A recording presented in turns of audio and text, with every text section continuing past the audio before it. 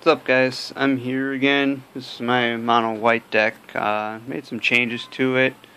Uh, pretty much we'll go over what it is right now. And I have uh, some Mirran Crusaders, Knight Exemplar, Archangel of Thune, Beta White Knights, perfect shape, some Legends Thunder Spirits. Had these bad boys since like 94.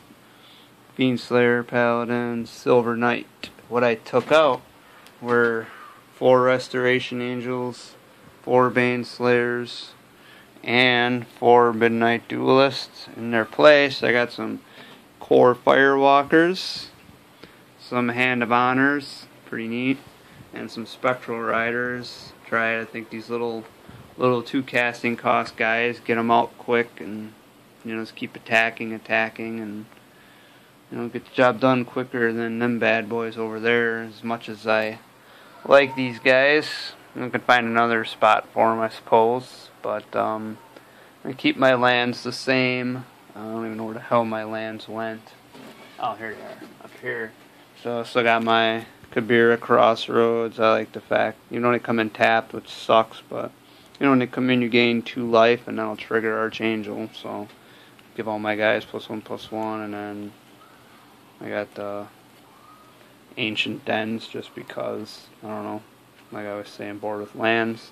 Otherwise, all my basic lands are Zendikar full arts. So that's it. We'll see how this works and uh, go from there. You know, and you know, still these things.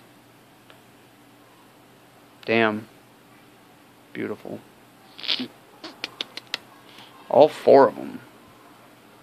Not an easy thing to find. Lotus sleeves, ooh. But uh, got that. I got a new tattoo too. Got uh, the Arabian Night thing. I don't know if you can see it.